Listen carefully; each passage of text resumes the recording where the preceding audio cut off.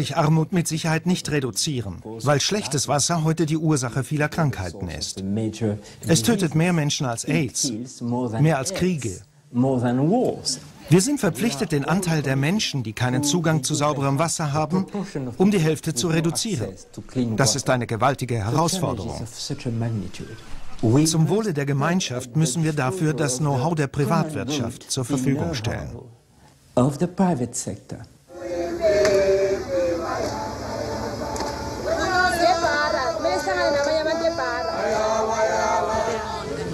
En fait, on, on les paye par mètre de réseau Let's find out. We are from Suez. Oh, this is these are from Suez. Ah.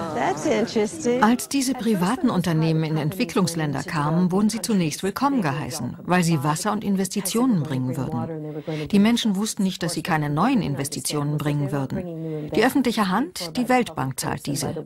Dann erhöhten sie die Preise, lieferten aber kein sauberes Wasser, schnitten ärmere Menschen von der Versorgung ab und entließen öffentlich Bedienstete. Die Bilanz war eine Katastrophe. Sie bringen Wasser in die ärmeren Gegenden, aber man braucht eine kleine Karte, um an das Wasser zu kommen. Dieses Land wird vielleicht führend in der neuen Technologie der Wasserversorgung gegen Vorkasse. Das hier ist das Buch, das den Leuten die Bedienung der Zapfstationen zeigt. Das Buch ist aber in Englisch geschrieben und die Hälfte unserer Gemeinde versteht kein Englisch. Die Menschen müssen im Voraus für die Versorgung mit Wasser bezahlen bezahlen. Für diesen Schlüssel muss man bezahlen. Wenn ich Wasser haben möchte, stelle ich meinen Eimer hier hin. So bekomme ich Wasser. Man muss die Denkweise, die Lebensweise der Menschen verändern, damit sie verstehen, dass es notwendig ist zu bezahlen. Wir sollten sie nicht dazu zwingen, sie sollten freiwillig zahlen wollen. Was soll eine arme Frau tun, der gesagt wird, um Wasser zu bekommen, musst du eine Karte reinstecken, die dir dein weniges Geld wegnimmt? Natürlich wird sie zum Fluss gehen, das dreckige Wasser nehmen und an Cholera sterben. Und dann heißt es, die Menschen verstehen nichts von Hygiene. The people here don't know. We just asked them. They don't know that they're getting prepaid water meters.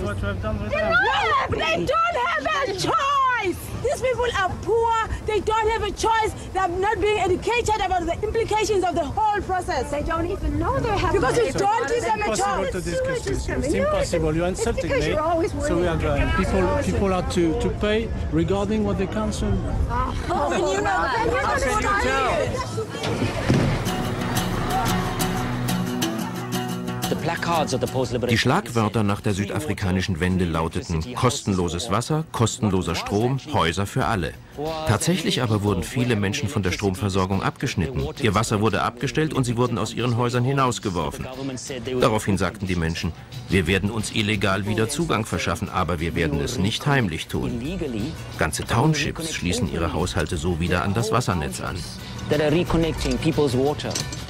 Hier gibt es auch Klempnerinnen. Wir haben den Job von den Männern gelernt. Denn wenn die Männer nicht da sind, müssen wir das Wasser und den Strom wieder anschließen.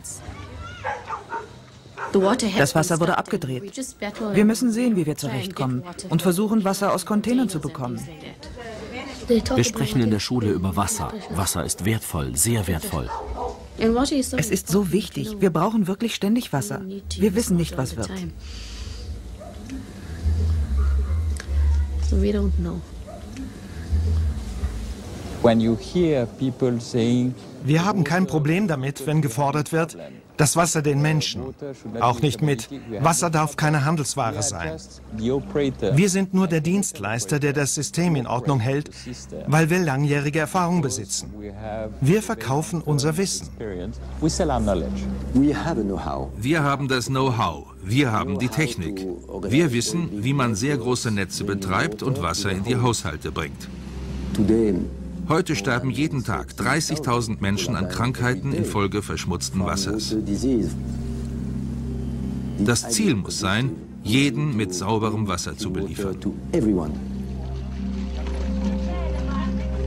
Diese Unternehmen sind 150 Jahre alt und gegründet wurden sie von Bankiers, das darf man nicht vergessen.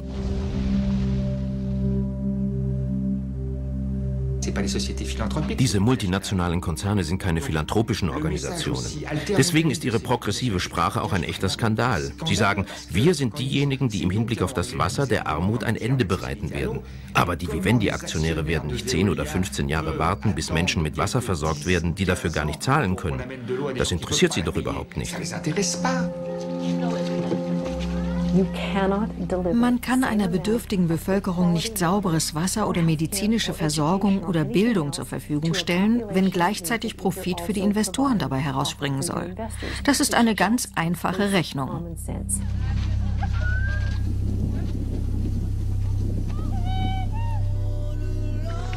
Die Menschen haben die Auffassung, dass Wasser kostenlos bereitgestellt wird, vom Himmel, von Gott. Warum also soll man für Wasser bezahlen? Wasser aber, das über ein Versorgungsnetz geliefert wird, über Rohre und Leitungen, erfordert eine Menge Geld, um in dieser Form zur Verfügung gestellt zu werden.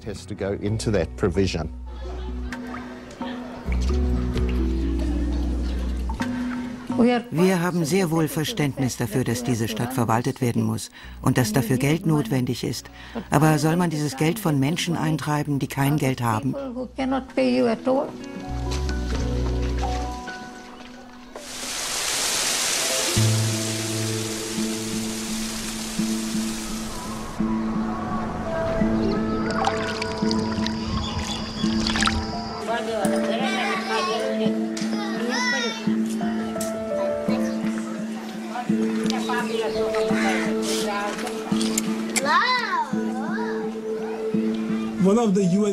Mit einer der UN-Resolutionen, den Millennium-Entwicklungszielen, soll die Zahl der Menschen, die keinen Zugang zu Trinkwasser haben, bis 2015 auf die Hälfte reduziert werden. Wenn die Trinkwasserversorgung jedoch weiter auf konventionelle Weise über ein zentralisiertes System erfolgt, wo das Wasser gereinigt und dann an die diversen Orte geleitet wird, dann werden die Kosten unbezahlbar, weil die meisten Bewohner auf dem Land in kleinen, weit verstreuten Siedlungen leben.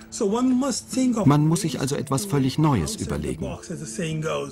Fast jeder in Indien hat eigene Erfahrungen mit biologisch verunreinigtem Wasser gemacht. Ich zum Beispiel habe, als ich klein war, fünf Cousins verloren, die an einer Durchfallerkrankung litten. Ich war noch ein Kind. Erst als ich erwachsen wurde und eigene Kinder hatte, konnte ich ansatzweise verstehen, was für eine Katastrophe es für meine Tanten und Onkel gewesen sein muss.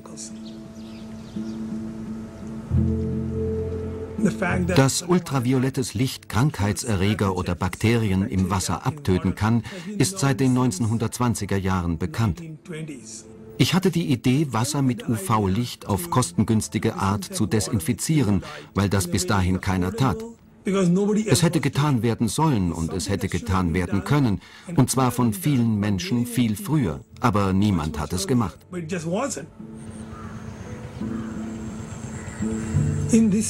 Im Bundesstaat Andhra Pradesh starben vergangenes Jahr 70.000 Menschen an verschmutztem Trinkwasser. Auch wenn es von offizieller Seite heißt, dass Wasser in nie weiter als zwei Kilometer Fußmarsch verfügbar sei. Zehntausende Menschen in jedem der indischen Bundesstaaten sterben wegen verunreinigtem Trinkwasser. Bevor wir die UV-Filterung des Wassers hatten, haben wir Wasser aus den Brunnen und Flüssen getrunken. Häufig haben wir dann Krankheiten wie Cholera bekommen. Um den täglichen Betrieb der Anlage kann sich die Gemeinde vor Ort kümmern. Der Preis, zu dem die Menschen das Wasser quasi von sich selbst kaufen, stellt genügend Einnahmen bereit, um jemanden aus der Gemeinde zu bezahlen, der sich um die Instandhaltung der Anlage kümmert. Das Ganze ist also ein finanziell praktikables Modell, wie eine Gemeinde autark die Trinkwasserversorgung für Menschen gewährleisten kann, die in ihrem gesamten Leben noch kein sauberes Trinkwasser hatten.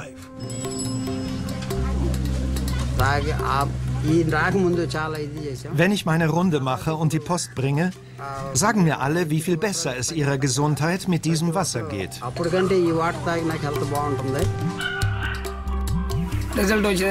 Wenn das Wasser für uns gut ist, wo wir so groß sind, um wie viel besser ist es dann erst für diese kleinen Hühner? Das alte Wasser hat sie immer krank gemacht und wir brauchten Medikamente. Für jedes Küken